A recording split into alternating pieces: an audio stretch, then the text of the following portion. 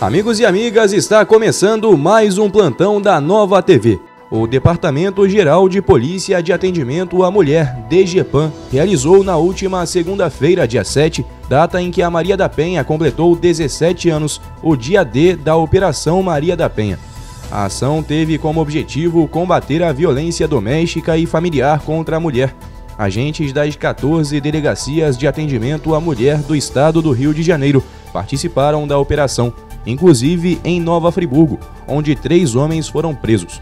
Nas Brownies, um homem condenado pela justiça pelo estupro da própria neta foi capturado por agentes da DEAN de Nova Friburgo.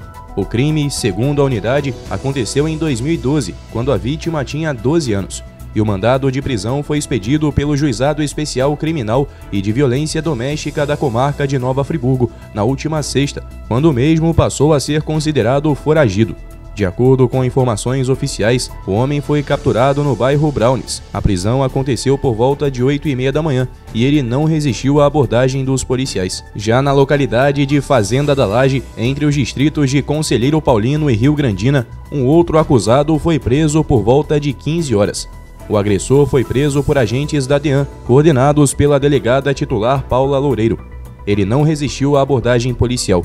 De acordo com o porta-voz da unidade especializada, a vítima relatou em depoimento que o companheiro não se conformou com o pedido de separação e inicialmente a ameaçou.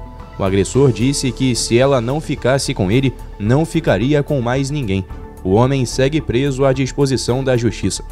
O terceiro caso aconteceu no bairro Jardim Califórnia, no distrito de Conselheiro Paulino, por volta de 6 da manhã um homem foi preso acusado de xingar, ameaçar e esfaquear a ex-companheira na mão e nas costas. O homem segue preso à disposição da justiça. Termina aqui mais um plantão da Nova TV. Entre em contato pelo WhatsApp 999090701 ou pelo telefone da Nova TV 2522 9058. Para mais informações, acesse e se inscreva em nosso canal no YouTube Nova TV Friburgo.